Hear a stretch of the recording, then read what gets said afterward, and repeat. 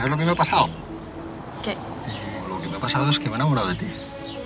Y creo que tú también te has enamorado de mí. Y creo que ya no deberíamos separarnos nunca más. ¿Qué haces con esa peluca? ¿Qué te parece? Pues rubia. Ya, pero ¿qué te parece? Me parece que está rubia. ¿Parece rubia natural? Hombre, no. Soy Bruno, el director de la película. ¿Qué rubia estás? Eh, es una peluca. Me la puedo quitar, ¿eh? ¿Qué va, qué va, qué va? Nos encantan las pelucas. Es que me habías cogido antes de que empezara a hacer la prueba. Pero, tía, ¿no quieres ser la protagonista? Sí, pero es que quiero que me cojan por mis dotes de actriz. ¿Puedes dejar de decir eso, por favor? Y se pone a decirle a todo el mundo no sé qué de mis ojos y yo flipando. Será un poco como el proceso de elegir a la actriz, ¿no? Mm, mira, no creo.